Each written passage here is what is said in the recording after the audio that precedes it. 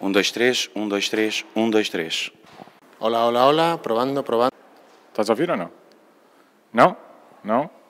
Um, dois, três, um, dois, três, um, dois, três. Faz stop.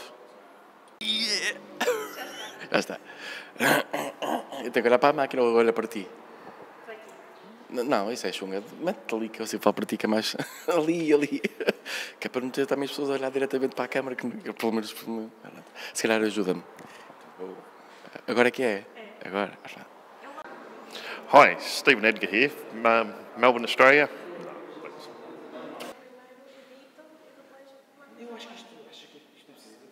É que está a gravar, sabes? Eu já.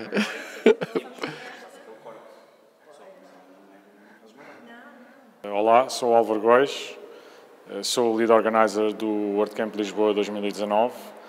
Eh, e de fazer alguns contactos que podem ser bastante eh, produto.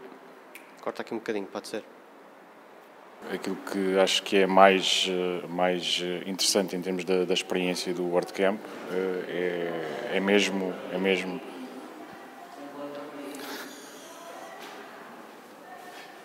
How many people from different countries are already here and share their knowledge? yeah, so Fazer parte desta família que é enorme, que é cada vez melhor, mais vibrante. Foda-se, tinha uma. you, you ask her, can you be extra loud? And she's like, yeah, I can do it.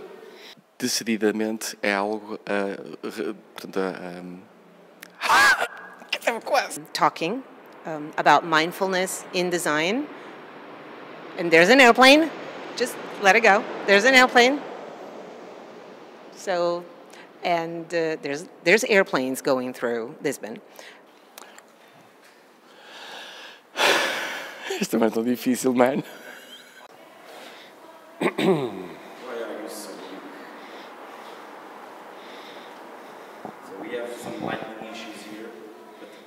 Eu? Eu é que sou o presidente da junta.